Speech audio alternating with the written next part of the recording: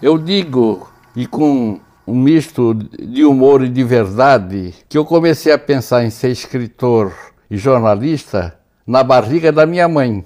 Então, mesmo antes de aprender a ler e a escrever, naquela época, em Biguaçu, onde nós mudamos em 1931, porque antes moramos em São Pedro de Alcântara, no fim da tarde, as famílias e as crianças se reuniam na porta das casas e ficavam conversando. As crianças falavam das estrepolias do dia a dia. Eu fazia diferente. Pegava um pedaço de papel de embrulho da venda do meu pai, recortava algumas palavras, juntava o que eu dizia serem outras palavras, eram traços na horizontal, na vertical, círculos, e lia aquilo para os outros. Quer dizer, eu recriava e inventava. Estava surgindo o jornalista e o escritor. Você acabou de ouvir Salim Miguel em entrevista para a TV UFSC em 2012. Nascido no Líbano, Salim Miguel chegou ao Brasil com 3 anos de idade. A família passou pelo Rio de Janeiro e seguiu para Santa Catarina. Depois de morar em São Pedro de Alcântara e Antônio Carlos, a família de Salim se fixou em Biguaçu, onde se estabeleceu com um pequeno comércio. Desde cedo, Salim lia tudo que lhe caía em mãos, e a primeira coisa que caiu em suas mãos foram as páginas de jornais. Quando eu me alfabetizei, eu tinha uma tal fome de leitura que lia e relia velhos jornais, lia almanaque. Naquela época, todo laboratório farmacêutico que se prezasse tinha o seu almanaque. E no almanaque vinham muitas coisas. Lia até bula de remédio.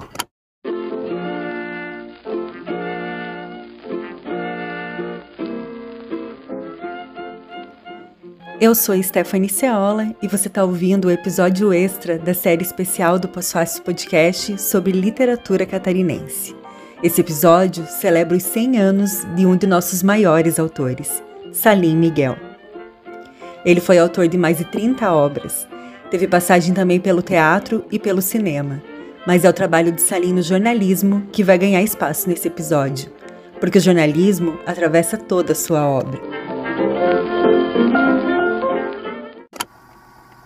Não há livro nenhum, por mais diferente que seja, que não tenha um pouco do autor.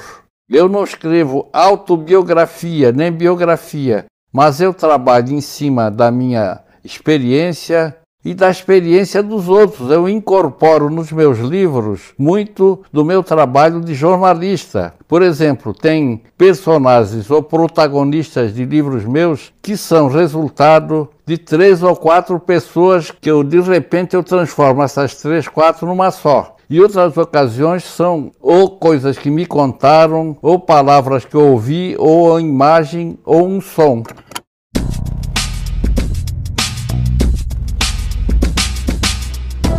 Salim Miguel escrevia desde os 10 anos de idade, mas começou a publicar seus escritos aos 22, em 1946, nos jornais O Estado, Gazeta e Diário da Tarde. Em 1951, ele começou a trabalhar em redação de jornal como redator do Diário da Manhã, em Florianópolis. A jornalista Viviane Bevilacqua conta que, ao mesmo tempo, Salim era correspondente de um jornal de Porto Alegre, chamado A Hora, e também de uma revista do Rio de Janeiro, chamada Boletim Bibliográfico Brasileiro. Talvez por amor ao ofício, talvez porque o salário de jornalista nunca foi grande coisa assim. Aqui em Santa Catarina, Salim trabalhou ainda no jornal O Estado, onde fazia matérias e mantinha duas colunas, uma delas de informações gerais e outra de anotações sobre livros e autores. Salim Miguel sempre colaborou também com jornais de São Paulo e do Rio, publicando contos no suplemento literário do Estadão e no Diário de Notícias. Deu para perceber que o jornalismo e a literatura sempre andaram juntos na vida dele, né? Agora, o próprio Salim fala sobre isso, em entrevista concedida à TV UFSC 11 anos atrás.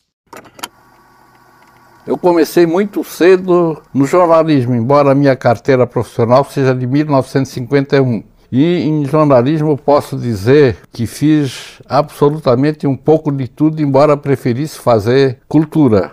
Eu fui talvez o primeiro jornalista a passar um dia com um mineiro às sete da manhã e sair com ele às sete da noite, no fundo de uma mina de carvão em Criciúma. Em plena selva amazônica, passei uma semana acompanhando um projeto chamado Radiografia da Amazônia. Então, essa experiência e outras experiências me deram um cabedal de conhecimento que me ajudou muito na minha literatura. E para mim, jornalismo também é literatura, ao contrário do que muitos dizem. E o que eu sou hoje na minha literatura deve muito ao jornalista que continuo sendo, embora aposentado.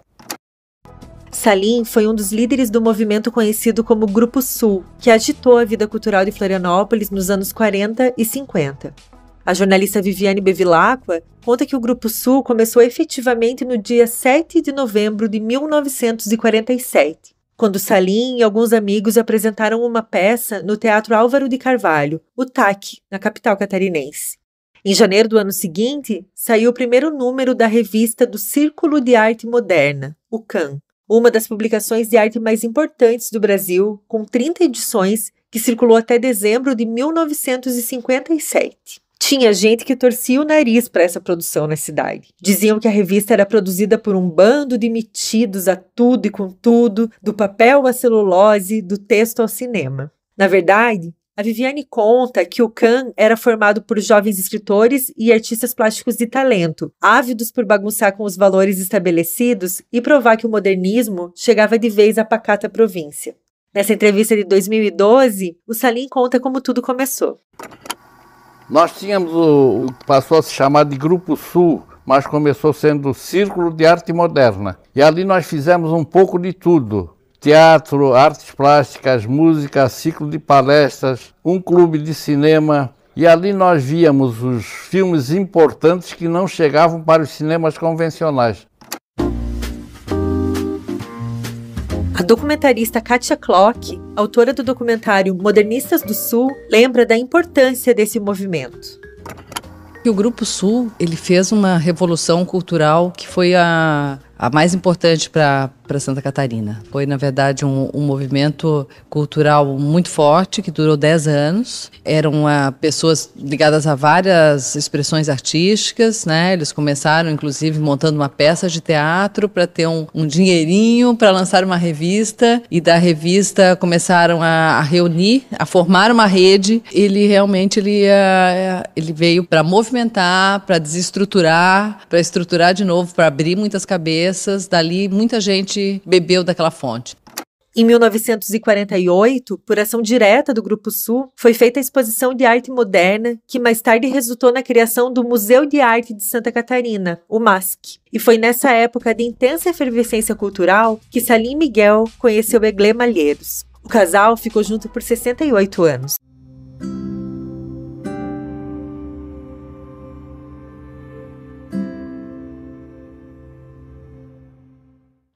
Egle Malheiros é uma grande mulher e foi pioneira em várias áreas. Ela escreveu o roteiro do primeiro longa-metragem gravado em Santa Catarina e foi a primeira mulher a se formar em direito no estado. Professora muito reconhecida em Florianópolis, foi autora de livros infantis e de poesia. Em 2023, a Egle completou 95 anos e foi homenageada com um documentário que leva seu nome, dirigido por Adriane Canan. Além de tudo isso, Egle Malheiros foi uma grande militante política.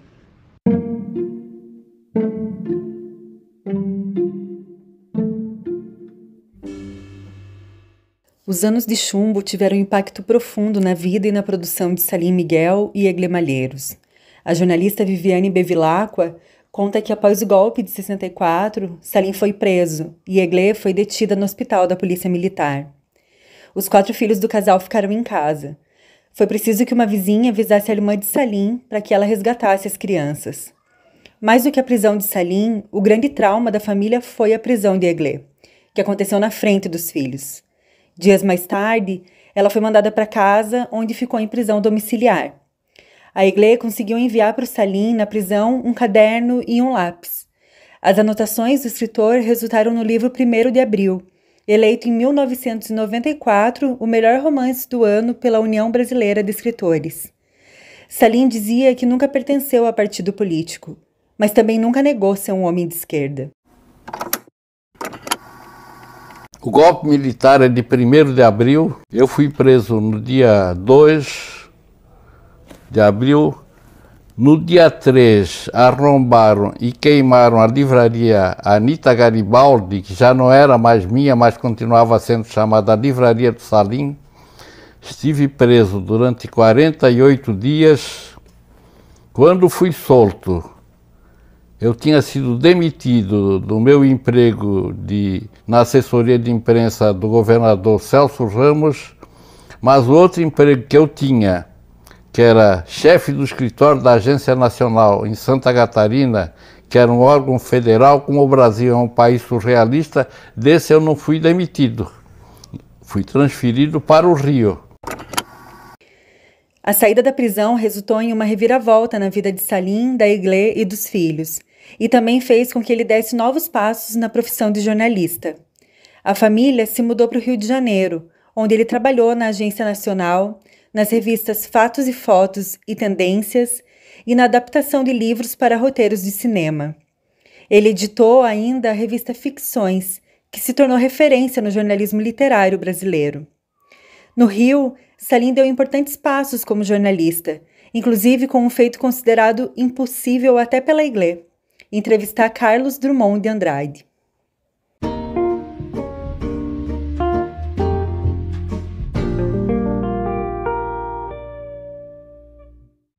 Viajei algumas vezes com um dos jornalistas mais importantes desse país, chamado Joel Silveira, aprendi muito com ele. E no Rio conheci os escritores mais importantes dos anos 50 em diante, a começar por Carlos Drummond de Andrade. E poderia citar dezenas e dezenas e dezenas de outros. Além de Drummond, Salim dialogou com Jorge Amado e outros grandes nomes da nossa literatura, assim como ele. Ele não apenas entrevistou. Salim se dedicou a escrever sobre literatura, em críticas e crônicas sobre autores. Isso pode ser visto em livros como Aproximações, em que ele fala de Cruz e Souza, Dalton Trevisan, Otto Lara Rezende, entre outros nomes. É Salim mostrando uma característica importante da sua personalidade – a generosidade e o reconhecimento a outros talentos literários. Em 30 de janeiro de 2024 é celebrado o centenário de Salim Miguel. E essa é uma homenagem do Possácio Podcast a esse autor que nos inspira no jornalismo, na literatura e na política.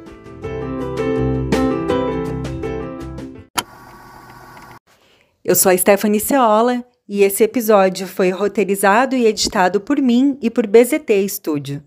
Esse episódio usa áudios da TV UFSC e reportagem de Viviane Bevilacqua para o Diário Catarinense e Zero Hora.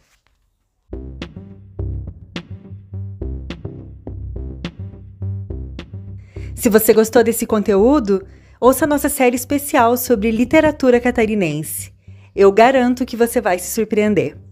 Para conhecer mais o nosso trabalho, acesse posfaciohub.com ou nossas redes sociais, arroba Podcast.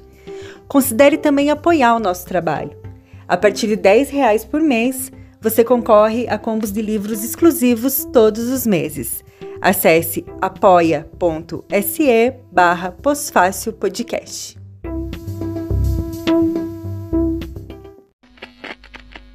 Esse podcast foi editado pela BZT e produzido por. Pós-fácil. Pós-fácil.